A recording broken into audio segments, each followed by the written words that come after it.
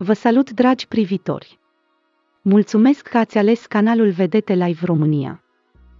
Andrei Leonte a fost primul câștigător a show-ului X Factor România, în urmă cu 11 ani.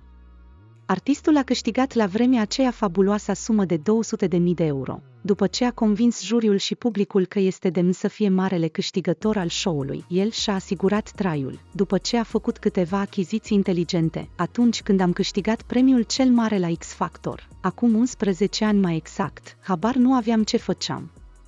Nu regret cum am evoluat de acolo și ce am făcut cu banii. Am luat niște decizii cu cap, mi-am luat un apartament, mi-am luat niște scule pentru a putea face muzică, mi-am plătit niște piese și niște clipuri. Mi-am luat o mașină, deci nici măcar nu aveam carnet la vremea aceea.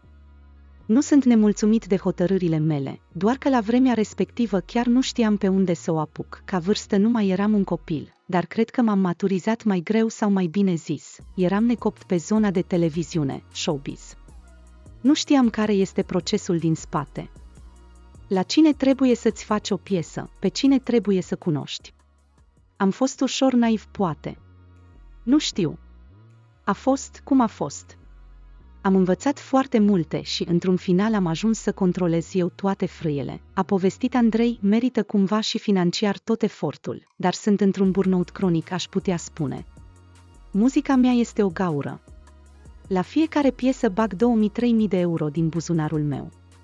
Nu știu să cânt manele. Este foarte greu. Nu mă ține vocea. Am încercat. Dar nu este treabă ușoară și nu reușesc. Este ok să stai la locul tău și să faci la ce te pricepi, în industria muzicală nu am stat atât de bine la partea de business. Am gândit cu inima și nu cu buzunarul dar eu tot sper ca la un moment dat să fac bani din asta și să nu mai fiu nevoit să fac un milion de alte lucruri pentru a mă întreține, a menționat Andrei Leonte.